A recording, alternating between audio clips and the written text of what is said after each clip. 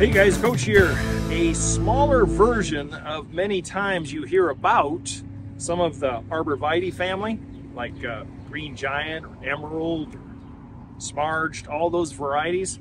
Here's a smaller version, much more uh, scaled down and a little more globular as far as shape.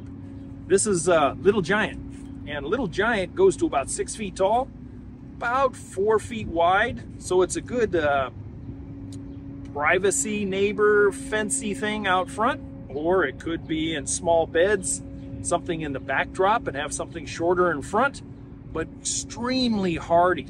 Not super fast growing, probably only two to three inches a year, but super hardy and very, very cold tolerant. This thing is Arctic Circle type of tolerant down to zone two and does well all the way up to zone eight and maybe even a nine.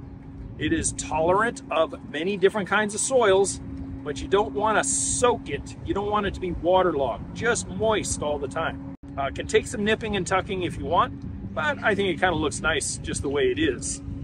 If you get a stray, something like that, you can go in there, not shear it all the time, but just go in and, and take out the one, the wanderer. But Little Giant Thuja.